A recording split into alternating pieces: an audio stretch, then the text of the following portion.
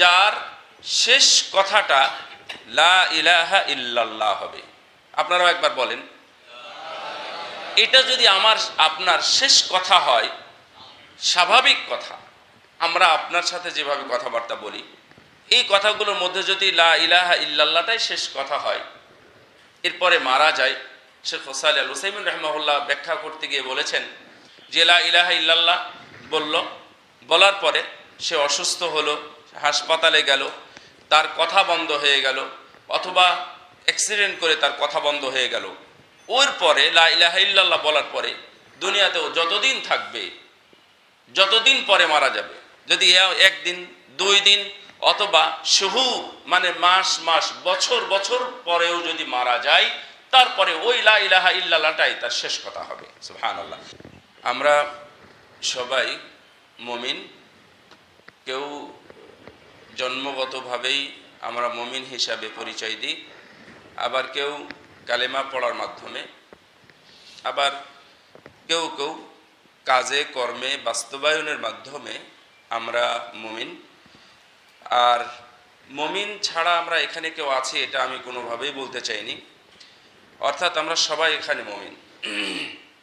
তার মানে সাহাবিদের ইমান তারপরে তাবিদের ইমান তাবি তাবিদের ইমান সালাফ সালেহীন যারা ছিলেন, তাদের ইমান আর বর্তমান ইমানের মধ্যে, অর্থাৎ ইমানদার ব্যক্তির মধ্যে কত তফাৎ, কতটুকু পার্থক্য হয়ে গেছে, এটা আমরা অনুমান করলে বুঝ- বুঝতে পারি।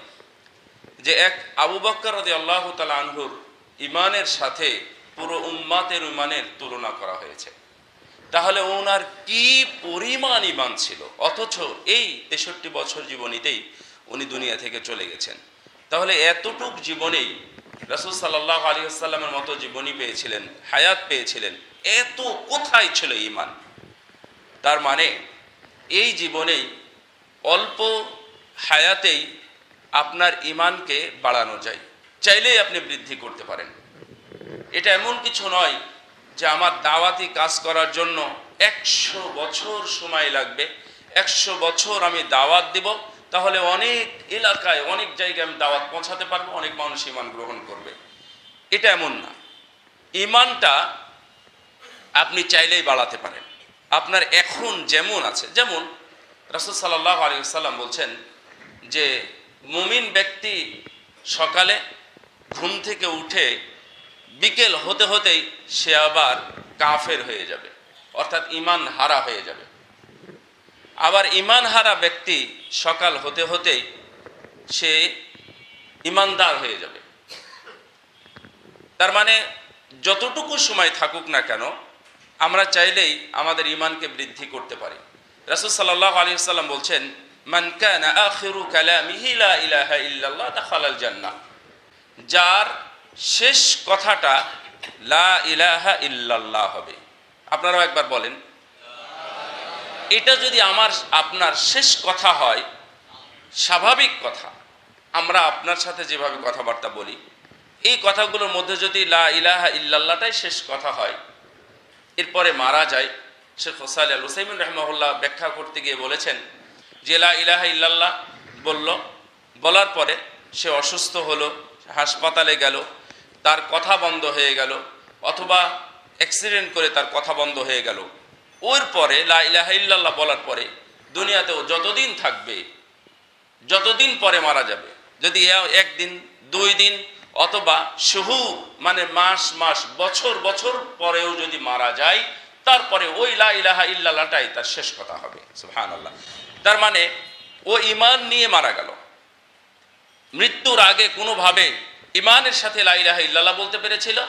আল্লাহ রব্বুল আলমিন ওইটাই শেষ কথা ধরে হয়তোবা তিনি জান্নাতি হয়ে যাবেন। তো আমরাও আমাদের এই ছোট্ট লাইফে এমনকি আজকেও চাইলে আমরা আমাদের ইমানকে বৃদ্ধি করতে পারি। একদিনেই সম্ভব। একদিনেই সম্ভব। যত পুক্ত হবে, যত দিন যাবে, একই জিনিস করতে গেলে আপনার আরও ভালো হতে পারে। কিন্তু আজকে আপনি আপনার ইমানকে বৃদ্ধি করতে পারেন। ইমানকে বৃদ্ধি করার জন্য কয়েকটা কথা। এ, ওমর রাজি আল্লাহ তালা আনহুর মতো মানুষ যার কথা আমি বলছিলাম। ওমর রাজি আল্লাহ তালা আনহু তিনি বলতেন যে নাজদাদু ঈমানানা। তোমরা একটু আসো আমরা একটু আমাদের ইমানকে বৃদ্ধি করি। এটা কে বলছেন?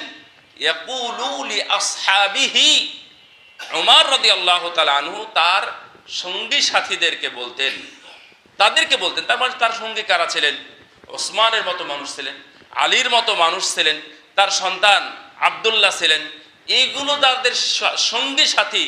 তাদেরকে বলতেন, তোমরা একটু আসো, বসো, আমরা একটু আমাদের ইমানকে বৃদ্ধি করি। এমনকি অন্যান্য সাহাবি, উনি এভাবে বলতেন, যেমন মুয়াবিয়া রাজি আল্লাহ তালাহু সম্পর্কে বলা হয়েছে আলী রাজি আল্লাহ তালাহু সম্পর্কে বলা হয়েছে, আবদুল্লাহ ইবনে আমর ইবনুল আস রাজি আল্লাহ তালাহু সম্পর্কে বলা হয়েছে, তারা এইভাবে বলতেন, ইজলিসু বিনা নুমিনু সা আতান একটু সময় বসো, আমরা একটা ঘণ্টা আমাদের ইমানকে বৃদ্ধি করি। তার মানে কি কারণে কি কারণে বৃদ্ধি হয়? এই কারণটা আপনার মাধ্যমে যদি ঘটে যায়, তাহলে আপনার ইমান বৃদ্ধি পাবে। ইমান বৃদ্ধি করার জন্য সাহাবিরাও চেষ্টা করতেন। একটু সময় আব্দুল্লাহ ইবনে আমর ইবনে আস আনহু, তিনি বলতেছেন যে, ইয়াতি আমার কাছে মনে হয় একটা দিন, একটা সময় আসবে, মসজিদে অনেক মানুষ আসবে, একবারে মসজিদ ফুল ভর্তি করে জামাতের সাথে সালাত আদায় করবে, কিন্তু এই জামাতের সালাতের মধ্যে একজনের মধ্যে একজন ব্যক্তিও পাওয়া যাবে না, যার মধ্যে ঈমান আছে। তার মানে এই ধরনের মসজিদ কিন্তু এখন পৃথিবীতে অনেক আছে। মসজিদ ভর্তি ইমান মসজিদ ভর্তি মুসল্লি, কিন্তু একজনের ভিতরেও ভর্তি ইমান নাই। আপনি যান, চলে যান। বাইজিদ বুস্তামিন মসজিদের ওখানে ওখানে মসজিদ আছে, ওই মসজিদে মুসল্লি ভর্তি আছে। আপনি যদি শাহজালাল শাহপরানের মসজিদে, বাংলাদেশের বড় বড় মসজিদের একটি, সেখানে যান, আপনি দেখবেন ভর্তি হয়ে আছে। আপনি চট্টগ্রাম যেখানে ওই একে খান, ওই জায়গাতে একটা মসজিদ আছে, ওখানে শুধু কবরে ভর্তি, কবরের মাঝখানেই মসজিদ, ডানে, বামে, সামনে, পিছনে শুধু কবর আর কবর। ওই মসজিদে আপনি গিয়ে সালাত আদায় করেন। যারা সালাত আদায় করছে, আমরা এটা বুঝতেই পারি, তাদের মধ্যে ইমান নাই। কারণ ইমান থাকলে ওখানে সে যেতে পারে না। মসজিদকে সামনে নিয়ে কবর, মসজিদকে সামনে নিয়ে সেজদা করা, সালাত আদায় করা, সরাসরি হাদিসে নাফসান মানে রাসূলের মুখ দিয়ে এটা নিষেধ করা হয়েছে। লা তুসাল্লু ইলা কুবুর। কবরদার কবরকে সামনে নিয়ে তোমরা সালাদ আদায় করো না। তারপরেও দেখেন সালাদ আদায় করছে। কবরকে লক্ষ্য করে যে মসজিদগুলো তৈরি করা হয়েছে, সেই মসজিদে সালাদ আদায় করছে। আমরা স্বভাবতই বা স্বাভাবিকভাবেই বলতে পারি যে আমরা এদেরকে মানে মমিন হিসাবে দেখতে পাই না। বা এদের মধ্যে ইমান আছে, এটা বুঝি না। এই জন্য আব্দুল্লাহ ইবনে আমর তাআলা আনহু যা বলে গেছিলেন এই কথাটা কোনোভাবে মিথ্যা নয়। আল্লাহ রাব্বুল আলামিন বলছেন কুলুবুহুম।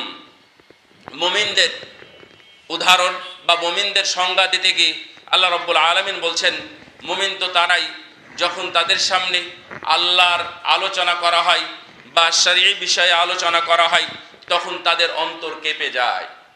তাদের ভয় লাগে ভিতরে। ওয়াইদা তুলিয়াত আলাইহিম আয়াতু যখন কোরআনের আয়াত তেলাওয়াত করা হয়, আলোচনা করা হয়, জাদাতুহুম ঈমানা, তখন তাদের ঈমান বৃদ্ধি পায়।